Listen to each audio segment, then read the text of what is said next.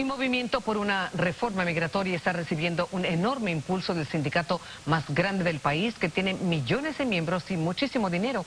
La AFL-CIO inició una campaña nacional para promoverla. Lourdes Melusa en Washington nos dice en qué consiste la campaña y por qué podría resultar clave para lograr la reforma.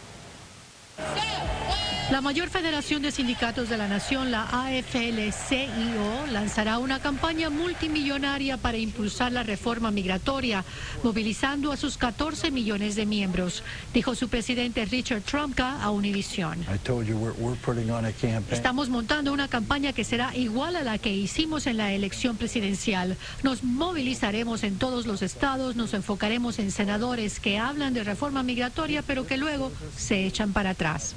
La campaña incluye desde comerciales de televisión y radio hasta tocar la puerta de votantes. El mes pasado comenzaron la movilización de sus afiliados con mítines a través del país que continuarán en marzo y abril. El esfuerzo abarca todo el espectro político. El presidente está invirtiendo gran capital político en lograr una reforma migratoria integral bipartidista pronto, recordó hoy la Casa Blanca. Ya es hora que Washington implemente una reforma migratoria que funcione.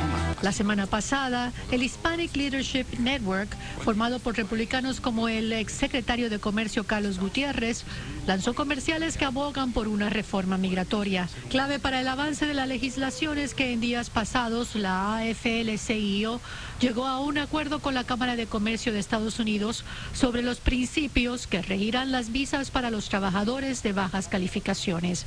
Ya trabajan en el lenguaje de la legislación. Si no hay un camino razonable hacia la ciudadanía, eso rompería el acuerdo. No consideraríamos ninguna otra cosa después de eso. Nos pararía en seco. En el 2007, su organización se opuso al programa de trabajadores temporales de la reforma migratoria. Esta vez debe ser un programa de visas permanentes para que cuando vengan puedan tener un camino a la ciudadanía. No permitirán que los empleadores traigan a extranjeros para pagarles menos. Y si no hay escasez, eh, los trabajadores latinos aquí tendrán acceso a esos trabajos. La AFL-CIO ha perdido cientos de miles de miembros solo en el año pasado. que reconoce que los trabajadores inmigrantes son la transfusión de sangre que necesita el movimiento laboral. Seis millones de sus miembros han firmado una resolución en apoyo a la reforma migratoria.